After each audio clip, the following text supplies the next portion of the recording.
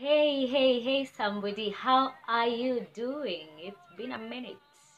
It looks like forever since the last time I was here, and I'm so sorry. I had promised to share something as soon as I did my last broadcast, but I wasn't able to because of many becauses. But hey, I'm here right now with something that the Holy Spirit has dropped into my spirit, and I believe that it will be of benefit to you and I. I'm also learning and I believe it will help each one of us. Holy Spirit, we surrender this time to you. We ask of you to come and share with us what you have for us. As God, I share this word you've given me. I pray that you will dissect it into small, small pieces, that each one of us will grab something that will be beneficial to our lives, God, and that will make us to live our lives better and purposefully in a way that brings honor and glory to your name. Anoint my lips, O Lord, Holy Spirit. I pray for your wisdom and knowledge, O God, that I will not speak of my own, but what you've deposited into my spirit by the word of the Lord. Thank you, Jesus. I honor and glorify your name in Jesus' name. Amen. Thank you so very much, people. I first want to appreciate each and every one of you. Thank you for subscribing into my YouTube channel. Thank you for your support. I really, really, really love you. And if you're new here, kindly subscribe and ring the bell so that whenever we have something coming on, you will be on board and you will not be left out. I really appreciate the love and the support. I will never take it for granted. May the Lord richly, richly bless you. Thank you for all of you who've been sharing, those of you who've been giving me comments. I am really, really grateful and I thank God for each one of you. You're just but a blessing into my life. Nani nawapenda sana, si ya finyoni ile ukweli. So today I have something that I want to share with us that I've titled The Enemy Within. The enemy within. And just before you start looking at the people around you and thinking that is the enemy, eh, I'm not talking about them. I'm talking about you, you yourself, you, you, you, you, you, you, as much as I'm talking to myself. I'm talking about the enemy within, the enemy that is inside us, the enemy that defiles us knowingly or unknowingly. And the enemy I'm talking about is the enemy called me, myself, and I. Me, myself, and I. And that equates to selfishness. Now, I will do this using the scriptures.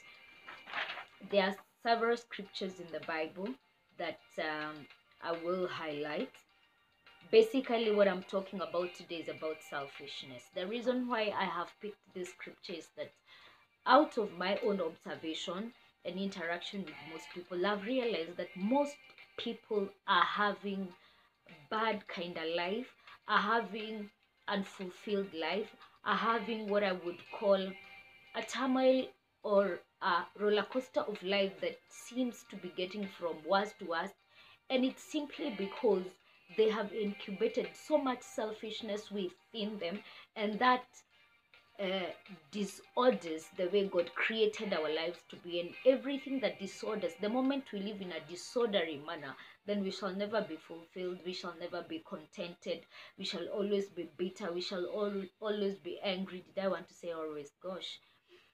You know we shall have mm, a life that is not well cut out. We shall think somebody else is responsible for what I've not gotten or for this, that, or the other. But in the bottom line, the problem is not the person, but the problem is the enemy within.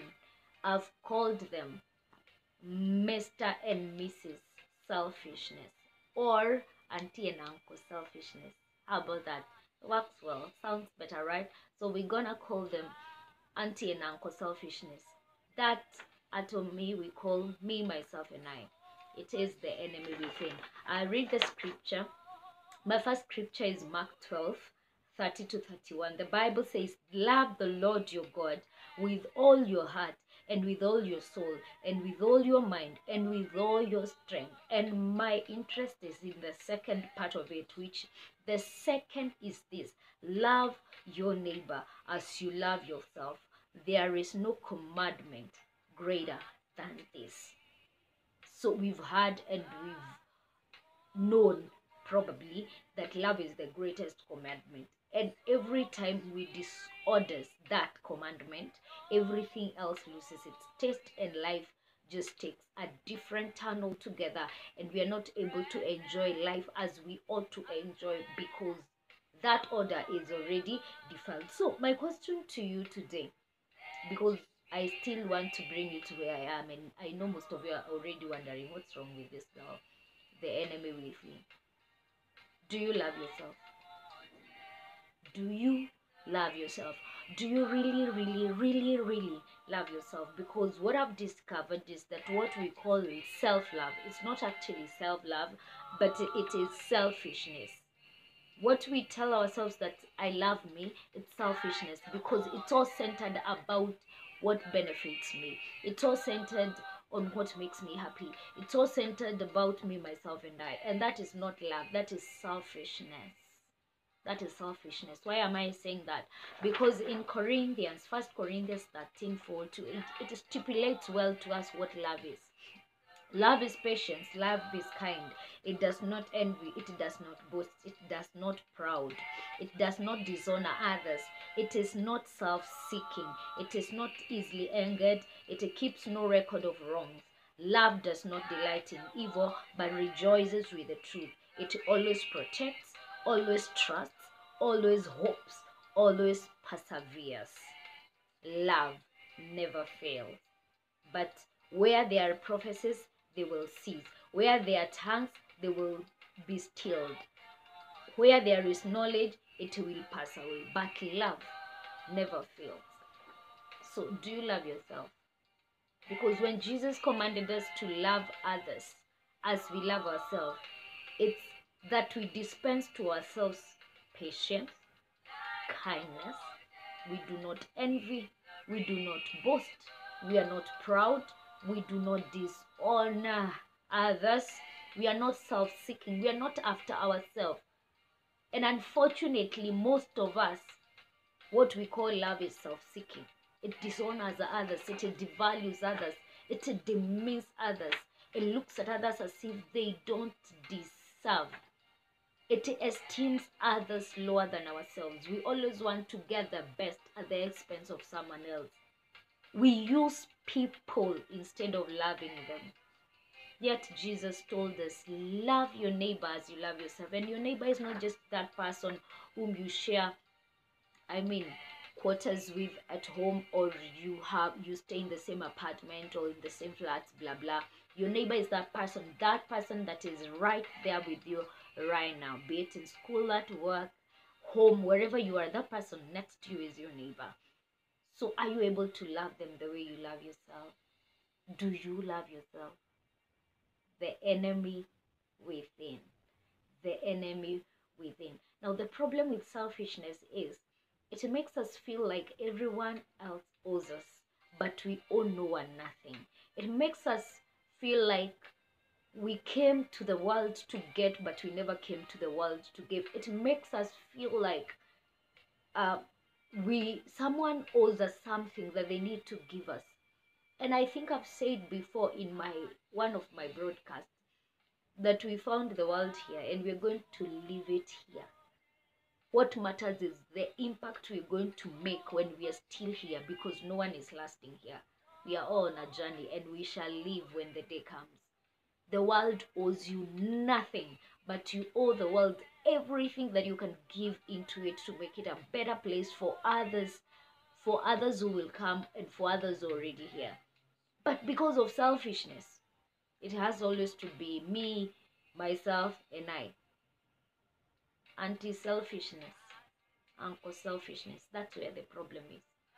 So you forever realize that you're always either angry you're always bitter you're never contented you're never grateful because nothing is good enough to make you be grateful. Nothing is enough for you to make you cheer up. No one does anything that satisfies you. Mr. Mrs. Selfishness. That is the enemy within. You see those people we call narcissists. They, they have graduated with PhD masters with selfishness. That's a topic for another day. I don't want to talk about nurses today. I'll talk about them another day. But if you're in that category, the problem is the enemy within. The enemy within. I go back to Mark 12 verse 31. Love your neighbors, you love yourself. How much do you love yourself? How much do you love yourself? And the way you love yourself, is it self seeking? Does it boast? Is it proud? Because if it is that, then that is not love. That is selfishness. We must learn to love the God kind of way of love. Otherwise, we are going to have miserable life. And why am I saying this? Because love is such a great force that, in fact, the world we live because of love. We are because of love. We are lifted because of love. Everything in life revolves around love. And already I know someone's mind is thinking about love the lovey-dovey kind of love that you feel towards someone. I'm not talking about that. I'm talking about the genuine, sincere, authentic love that you want to see everyone happy, that I will go an extra mile for someone, that I'll do something that will make someone else's life better, that I, I will not always think that I should be the one to get this first. I can also let the other person get it first. I will not always think that I'm the one who is entitled to this. I will let someone else do it and I will still be grateful. I will be rejoicing with those around me. I will be happy with my friends when they make a step ahead and I will not start saying mm, anafikiria tu yeye ni yeye anaweza. I will not be that kind of a person. The moment you find yourself always folding your lips badly towards others, and selfishness, so you they change. Because if you don't, my darling, life will be so horrible for you. It will be so horrible for you. And unfortunately um you don't need to be what did i want to say? Um we don't need to lay hands on you to remove selfishness. You just need to read the word of god and start operating by it. You just need to read this word and start operating by it because this is our daily living manual if you're not living by it sweetheart life is better. Let me come to you. Philippians 2 3, the Bible says, I will, I will read two or three versions, but it has many versions so that you will not think that it is Trizah who is just cooking things in her head. The Bible says in Philippians 2 3, do not do nothing out of selfish ambition or vain conceit. Rather, in humility, value others above yourself. That is the NIV version.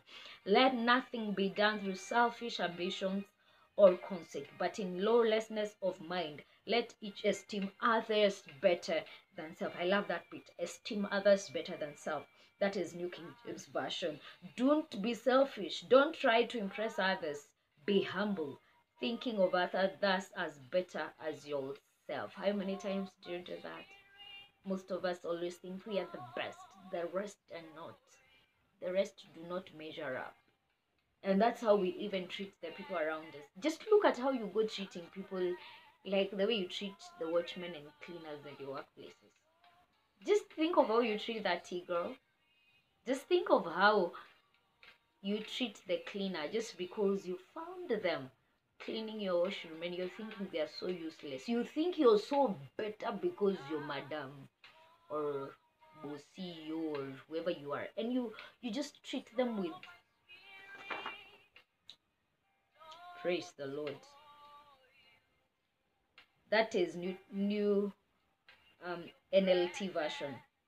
Do nothing out of selfish ambition or empty pride but in humility consider others more important than yourself that is Berean Bible study. And you can read more other versions of the Bible. The good thing about reading many versions of the Bible you get a better revelation and understanding of the word of God. What am I saying? If life will have to change, we have to change our viewfold of especially the people around us. And how are we going to start that? Is by inculcating the scripture in Mark 12 31. Love others as you love yourself. And you go to the very first question Do I love myself? And how do you love yourself? Because if the way you love yourself does not match up to Corinthians, First Corinthians 13 4 to 8 then you still don't fit in that fold. You're still living with the enemy within. Uncle anti selfishness or mr and mrs selfishness or if you saw like manager selfishness ceo selfishness whatever you wanna call it. But that is the enemy within. The sooner we deal with that enemy within we're going to have better lives I'll have in one of my episodes that I will address selfishness as a monster because it's a monster that kills a lot of things. Selfishness destroys homes, selfishness destroys churches, selfishness destroys marriages, relationship, destroys workplaces, destroys greater things because the moment me, myself, and I becomes the master, then we are in for a shock. And you can even see it even in our politicians when someone is just thinking about me, myself, and I, it does not matter how many people are suffering as long as I'm getting what I want. Anko and selfishness. You're gonna deal with that. And we need to ask the Holy Spirit to help us to deal with the enemy within us so that we can live fulfilling lives. We can live lives that brings glory and honor to the name of the Lord we need to ask the Holy Spirit to remove the enemy that is living inside us, that is causing us so much pain, so much trouble, anger, and bitterness. A selfish person is always bitter, they are always angry, they always think others are after them. I mean, you, they will, if you post something, they will think you're talking about them. And I have them, I have quite a number of them around me. And I I pity them, but sometimes I'm thinking, how do I even help you? The problem you're having is the enemy within you. I believe that you've gotten something small, even if you've not gotten everything. If you forget everything that I've said, do not forget Mark 12 31. The second one is love your neighbors, you love yourself. And ask yourself the question Do I love myself? Does what I term as loving myself match up to First Corinthians 13 for it. If it does not, my friend, dismantle and start all over again. Then do not forget Philippians 2 3. Do nothing out of selfishness, but rather in humility. Value and esteem others better or important than yourself. Able just imagine for a moment with me if we are seated in a circle of 10 people and all of us looks at the rest better than myself we will seek for the good of them we will want the best for them we will not rumor monger them we're not going to backbite them because i see them better as myself. I'm not going to be envious about them because i seek for their welfare. Can you imagine if we all did that the world will be an awesome, awesome place for us to live in. But hey, it's never too late. We can change the narrative, and that change begins with you and I. And until next time, this is your girl, Trizah, aka God's girl on assignment. And I believe that I've delivered my assignment for today. So it's up to you to pick what is yours make sure it works and helps you to become a better person. And until next time god bless you. I love you so so very much and i'm praying for you.